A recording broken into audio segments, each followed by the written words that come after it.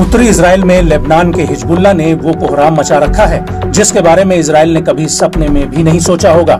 Hezbollah इस इलाके में चुन चुन कर इसराइली सैन्य चौकियों और उनके अड्डों पर ताबड़तोड़ रॉकेट, मिसाइल और गोला बारूद बरसा रहा है, जिनकी आग में उत्तरी इसराइल सुलग रहा है। और जैसे जैसे दिन बीत रहे हैं वैसे वैसे हिजबुल्ला के हमले और भी ज़्यादा भीषण होते जा रहे हैं। और हालातों को देखकर ऐसा लगता है कि दोनों देशों के बीच ये तनाव कभी भी पूर्ण युद्ध में बदल सकता है।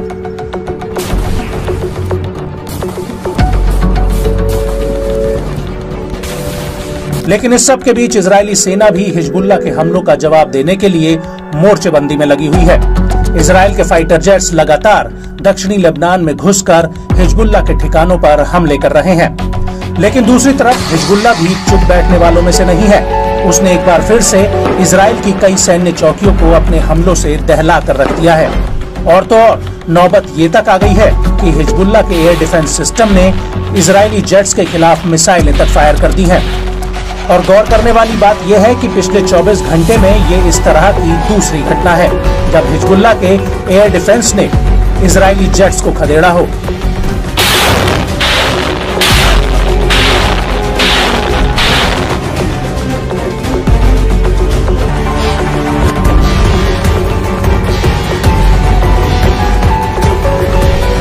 इस हमले को लेकर हिजबुल्ला का कहना है कि उसके एयर डिफेंस सिस्टम ने इजरायली जेट्स पर मिसाइलें तब दागी जब उसने दक्षिणी लेबनान के हवाई क्षेत्र का उल्लंघन करते हुए उसमें घुसपैठ की और जैसे ही ये मिसाइलें आईडीएफ के जेट पर दागी गई, वैसे ही ये जेट दुम दबाकर वापस उत्तरी इसराइल के हवाई क्षेत्र में भाग खड़ा हुआ।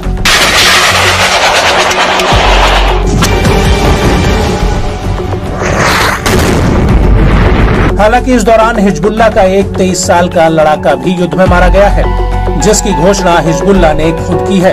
हिजबुल्ला का कहना है कि इस लड़ाई में अब्दुल्ला मोहम्मद फाकी की मौत हो गई है। हालाँकि इस सब के बीच हिजबुल्ला ने एक वीडियो ज़रूर रिलीज़ किया है, जो पिछले हफ़्ते का बताया जा रहा है। हिजबुल्ला का कहना है कि ये वीडियो पिछले हफ़्ते किए गए ड्रोन हमले का है, जिसने इसराइल के एंटी ड्रोन सिस्टम को लेबनानी बॉर्डर के पास निशाना बनाया था। इस वीडियो में साफ़ दिख रहा है कि कैसे एक ड्रोन हवा में उड़ता हुआ आईडीएफ की एक चौकी की तरफ़ बढ़ रहा है और यहाँ तैनात एक डिफेंस सिस्टम के ऊपर आकर फट जाता है।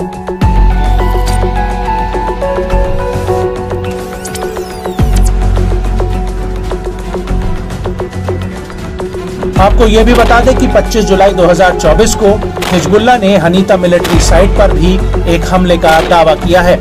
हिजबुल्ला का कहना है कि उसने इसराइल के मिनारा सेटलमेंट्स पर भी कई राउंड गोला बारूद दागा है और इस हमले के इतर हिजबुल्ला ने शतुला सेटलमेंट में एक बिल्डिंग पर हमला किया है। हिजबुल्ला का दावा है कि इस बिल्डिंग में इजरायली सैनिकों ने पनाह ले रखी थी।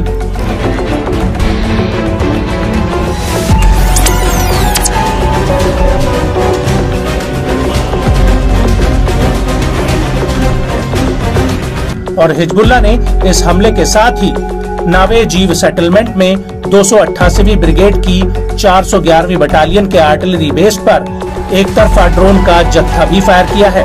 हिजबुल्ला का कहना है कि उसने इस सेटलमेंट को अपनी टारगेट लिस्ट में हाल ही में शामिल किया था और इस बेस पर हमला एकदम सटीक रहा है, जिसमें आईडीएफ को भारी जानमाल का नुकसान भी हुआ है।